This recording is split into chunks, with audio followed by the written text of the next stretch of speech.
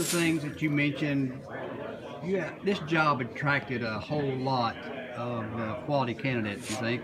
Absolutely. What was the uh, talent pool like that you were working working with to get down to Matt? Oh, we had sitting head coach, Division One head coaches. We had, uh, you know, high resource um, conference assistants. And we had top five program assistants. Uh, we had Division two head coaches. We had, um, you know, head junior college coaches. We had everything you could think of. But I can tell you that we had a lot of really, really good candidates. What does that say for the school and the brand? Well, I think it says a lot for the the brand. Uh, I think our women's basketball brand needs to get a little better, and I think that was the reason why the decision we made the decision we made because I think uh, you uh, your your brand starts locally first, and then it filters out.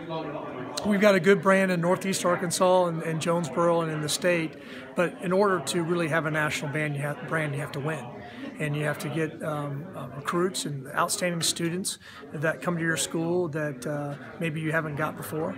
And I believed, based on the authenticity of Coach Daniel, and um, that that, that that wasn't duplicated by any our, of our other of our candidates. I think he'll be able to do that and help build a brand for women's basketball.